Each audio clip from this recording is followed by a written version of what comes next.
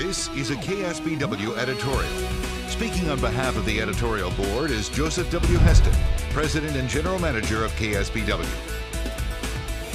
September 11th, 2001.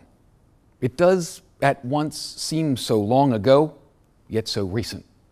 15 years ago this weekend, the images seared in our minds, the stories of those lost written on our hearts the New York Trade Center's Twin Towers, the Pentagon in Washington, D.C., and that farm field in Shanksville, Pennsylvania. Almost 3,000 souls were lost that day. Over 2,000 American civilians were killed, along with members of the military, fire and law enforcement personnel, and citizens from more than 90 other countries, all by this horrific terrorist act. Forged in the weeks after that great day of sorrow, there seemed to be a new spirit of cooperation and work to the common good. That crucible full of molten pain was poured into a new mold, which seemingly formed a new American spirit and resolve. But now, just 15 years later, we have slogged through wars in Afghanistan and Iraq with no decisive end to either.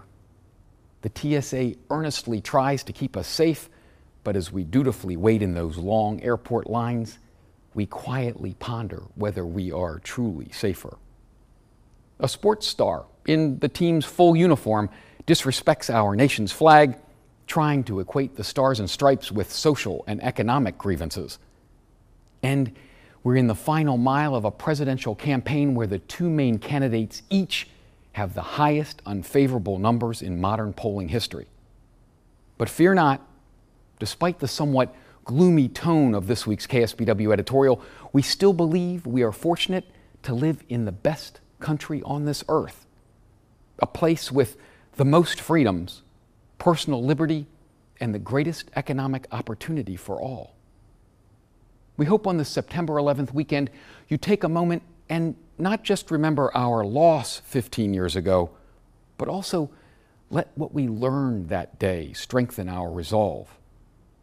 Reflect on how you might make a positive difference in your country, in your community, today and in the future. KSBW welcomes responsible replies to this editorial.